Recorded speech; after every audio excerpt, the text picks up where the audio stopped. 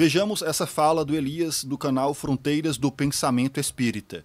Elias desenvolve uma série de comentários que tem por base a obra Fundamentos para uma Teoria Social Espírita. Obra que, por sua vez, não é kardecista. Obra que não é kardecista porque visa, a partir de uma perspectiva bizarra, desenvolver reflexões espíritas a partir de uma concepção materialista. E por materialista eu me refiro a elementos do materialismo histórico, distorcendo esse pensamento para, de certa forma, também distorcer a doutrina kardecista. Então nós temos aqui o clássico caso do cruzamento do jumento com a vaca. Não puxa a carroça e também não dá leite. E não sendo uma obra kardecista, ninguém vai esperar aqui qualquer fundamentação num campo experimental. O campo experimental não tem importância. O campo experimental não é levado em consideração. O que Elias desenvolve a partir dos comentários que faz, na tentativa de refutar ideias equivocadas em relação a Deus, é uma abordagem que, no final das contas, faz com que a ideia de Deus seja prejudicada. Essa abordagem caracteriza, portanto, um espiritismo sem Deus, um espiritismo ateísta ou um espiritismo materialista, como queiram. Tudo bem, não há problema algum que determinado autor tenha ideias próprias e resolva, portanto, cruzar a vaca com o jumento. Cada um é livre para pensar o que bem entender. O que me chama mais a atenção é que isso não é colocado de forma clara. Não há transparência nesse sentido, muito pelo contrário. Então, a proposta é apresentada como uma espécie de desenvolvimento da obra kardeciana, quando, em grande parte, entra em contradição com essa obra. Que bom seria se o autor, na página 1 do livro, dissesse: essa obra rompe com o kardecismo. Se vale das ideias espíritas, para estabelecer um espiritismo próprio. Espiritismo próprio, inclusive, porque possui uma concepção muito particular de Deus, que não coincide com a compreensão de Deus que podemos aprender a partir dos estudos kardecianos. Isso vai ficar claro ao longo da fala do Elias. Eu já quis fazer essa introdução para demonstrar ao longo da fala do Elias tudo isso que eu estou apontando. Ao longo da fala dele, tudo o que ele disser e eu for comentando é para mostrar que o que está sendo apresentado ali trata-se de um espiritismo muito próprio, um espiritismo que tem, portanto, uma base materialista. Vejamos o que diz Elias. Será que as dores e sofrimentos de hoje, que não fizemos por merecer, têm mesmo suas causas em vidas passadas? Essa vinculação povoa o imaginário espírita, mas será que ela faz sentido? O Luiz Signax avalia essa questão com muita propriedade no seu livro Fundamentos para uma Teoria Social Espírita. Ele observa que essa aplicação do princípio da causalidade da física aos fatos humanos e sociais foi inventada no século XIX, dentro da expectativa de que se podia aplicar a epistemologia das ciências naturais às ciências humanas e sociais, que, como vimos, foi frustrada no século XX. Importante considerar. Essa citação deixa claro o seguinte: Allan Kardec está desatualizado e pouco importa o campo experimental que ele se baseou. Pouco importa. Esse campo não tem importância para o pensamento que quero desenvolver nessa obra. Portanto, com a virada do século, as concepções materialistas mudaram, avançaram, enfim. E o que foi pensado antes é a expressão de um pensamento, portanto, ultrapassado. Pouco importa o que os espíritos disseram.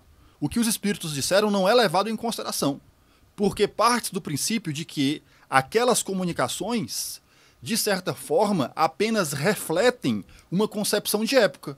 Com o avanço daquela concepção, portanto, o que os espíritos ensinaram é desconsiderado. Não é que o princípio da causa, como vimos, foi frustrada no século XX. Não é que o princípio da causalidade não se aplique às ciências sociais. Só não é da maneira que nós espíritas nos acostumamos a acreditar. Tipo, matou alguém, vai morrer assassinado. Na vida social, as relações de causa e efeito não são diretas, lineares. Exemplo: a Revolução Industrial foi uma das causas diretas da independência do Brasil. Ou então, um candidato é eleito porque obteve a maioria dos votos. Causa e efeito. Mas veja que o efeito não é da mesma natureza que a causa. Uma Olha só, às vezes o efeito e a causa possuem natureza semelhante. É errado dizer que em todos os casos se sofre por algo porque no passado você fez algo semelhante. Mas na verdade, há casos em que isso ocorre. Há casos em que isso acontece. O problema é que, a partir do entendimento superficial do Espiritismo, da doutrina dos Espíritos, da obra kardeciana, se generaliza essa colocação, como se em todos os casos fosse assim. Mas fato é, fato espírita, fato é que há casos em que isso ocorre. O que se sofre hoje é exatamente uma consequência direta e, às vezes, semelhante ao que você fez no passado. Há casos em que isso ocorre. Essa compreensão só é possível a partir dos estudos possíveis pelo campo experimental. Campo experimental que é desconsiderado nessa abordagem. Atenção. determinada causa, mas veja que o efeito não é da mesma natureza que a causa. Uma determinada causa pode levar a um efeito totalmente diferente. A ideia de uma matrix engendrada por espíritos superiores ou elevados que encadeiam os eventos da vida constitui uma noção naturalista e religiosa que pode ser sustentada como fé. Pra... Que pode ser sustentada como fé. Vejamos, a fé espírita, que é dita fé raciocinada, ainda é fé. Mas essa fé possui um campo experimental que lhe serve de base para reflexões filosóficas. Mas essas reflexões filosóficas não interessam, porque a base desse pensamento aqui apresentado é uma base materialista. Portanto, o que os espíritos disseram não tem importância.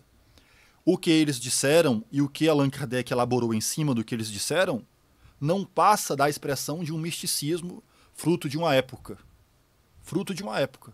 Mais adiante, a citação que o Elias faz deixa isso claro. Vamos lá. Justificar uma ideia de Deus que não usa, que pode ser sustentada como fé. Para justificar uma ideia de Deus que não erra, ou para justificar a relativa imprevisibilidade da vida humana.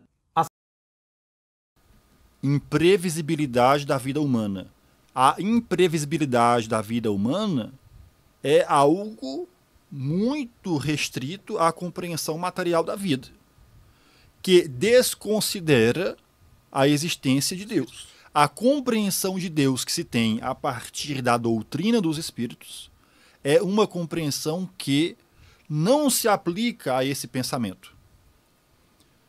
A providência divina é algo que não faz sentido para essas afirmações que Elias faz. Vejamos. As pessoas erram, ou para justificar a relativa imprevisibilidade da vida humana. As pessoas recorrem a afirmações como a semeadura livre, mas a colheita é obrigatória, ou então o acaso não existe, para justificarem a dor e até mesmo a violência mas quem diz que isso se aplica dessa maneira? Que as imprevisibilidades da vida não podem nos levar a uma situação pelo simples fato de estarmos ali naquele momento. Reencarnação envolve fatores que são contingenciais. É razoável supor que a reencarnação tenha mais fatores incontroláveis e imponderáveis do que o meio espírita é capaz de admitir fatores incontroláveis, fatores imponderáveis. E a compreensão de Deus vai por água abaixo. Não há de se pensar aqui numa providência divina. Porque para a providência divina não há essa história de vida material incontrolável, imponderável, não existe isso. Mas a ideia de Deus aqui resta prejudicada porque a base desse pensamento é uma base materialista. Ou acaso existem ponderáveis do que o meio espírita é capaz de admitir? Ou acaso existe ou não existe livre-arbítrio e nem qualquer outro tipo de liberdade de ação? Isso que o Elias acabou de dizer é chamado de falsa dicotomia. É a falácia da falsa dicotomia. Deixa eu voltar aqui para a gente observar bem o que é que ele diz. Do que o meio espírita é capaz de admitir. Ou acaso existe ou não existe livre-arbítrio e nem qualquer outro tipo de liberdade de ação. O acaso não somente existe, como faz parte da natureza caótica. Essa compreensão materialista que permite se compreenda o acaso dessa forma só é possível porque, segundo esse entendimento, não há providência divina. A falsa dicotomia que foi colocada entre acaso e livre-arbítrio só é possível porque parte-se da ideia de que Deus não existe. Ou se existe, não há providência. E aí, Elias não coloca a concepção de Deus que o autor possui. E eu tenho minhas dúvidas se essa concepção existe. Quem já tiver lido o livro, diz aqui embaixo se há algo nesse sentido. Eu tenho a impressão que não. Voltemos. Ou não existe livre-arbítrio e nem qualquer outro tipo de liberdade de ação.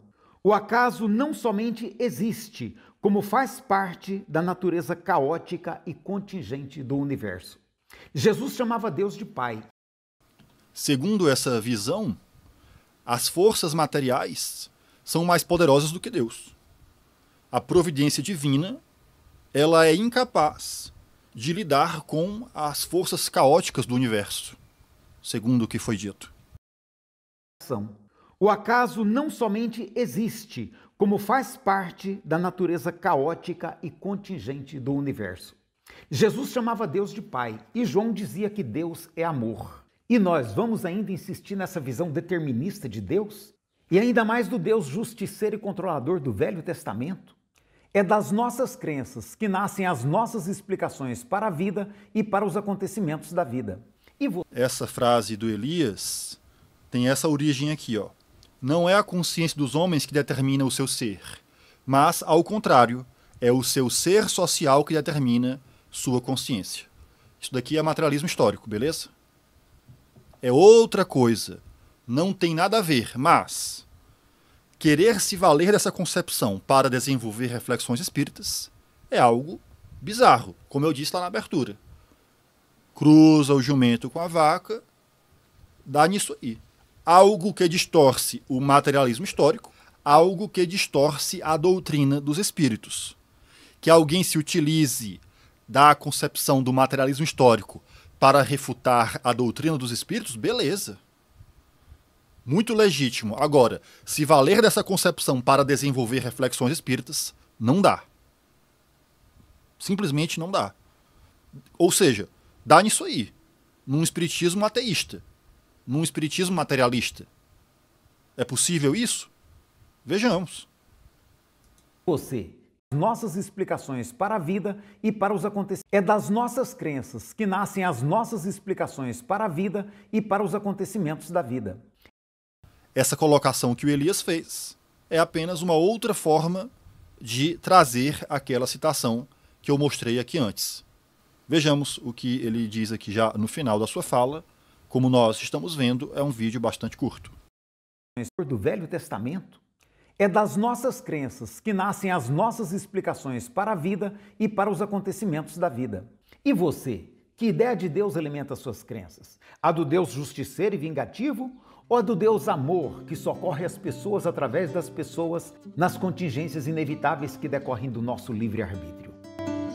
Essas são as questões que Elias apresenta já no final, e caberia aqui a pergunta: qual é a compreensão de Deus que o autor possui, se é que se compreende Deus de alguma forma?